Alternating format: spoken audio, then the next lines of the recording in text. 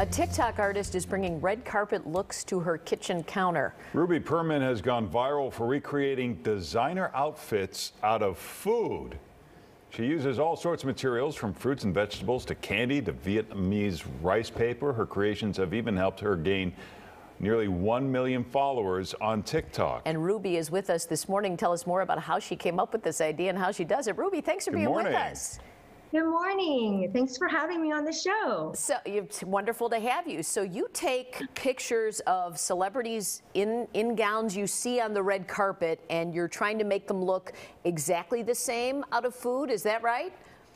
Well, um, most of my creations are inspired by red carpet dresses. Um, and then some of them, I just, you know, use my imagination to create the dress. But one of my favorite seasons living in California is red carpet season because the celebrity dresses are just works of art. And uh, when the pandemic got canceled and they canceled the Met Gala and the Grammys, I just had this crazy idea of bringing the red carpet to my kitchen. So I was just um, creating uh, celebrity dresses out of the food that I would find in my kitchen, like fruits, veggies, anything edible, and then post them on social media. And that's how it all started.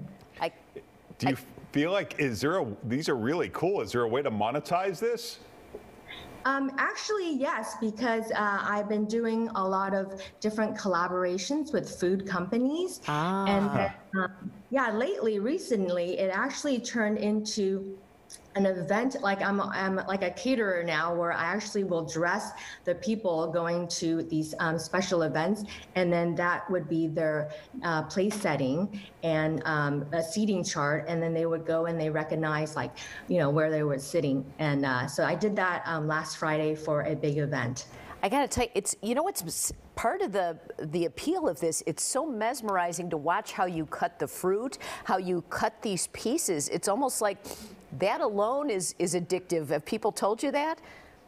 Yes, I, the people say that you know they find my videos very satisfying, and as a graphic designer, I think that that's where um, I use the different editing um, to make the videos um, more satisfying to watch. And here's your surprise. Whoa!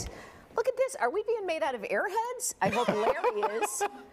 Ooh. This is your St. Patrick's Day outfit. Look at this.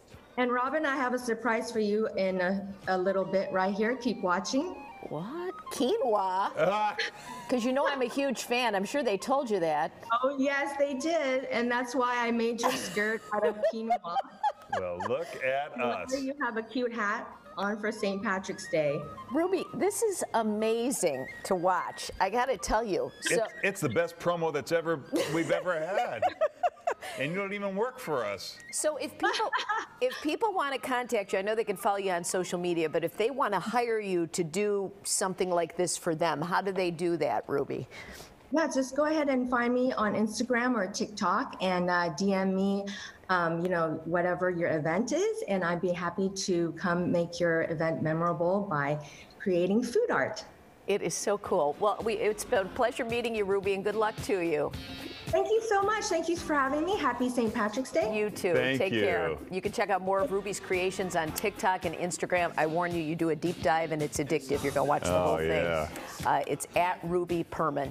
Oh, you can make Paul a pair of pants out of onions, right? Old onion pants, Conrad. Oh, yeah, now you're talking my language.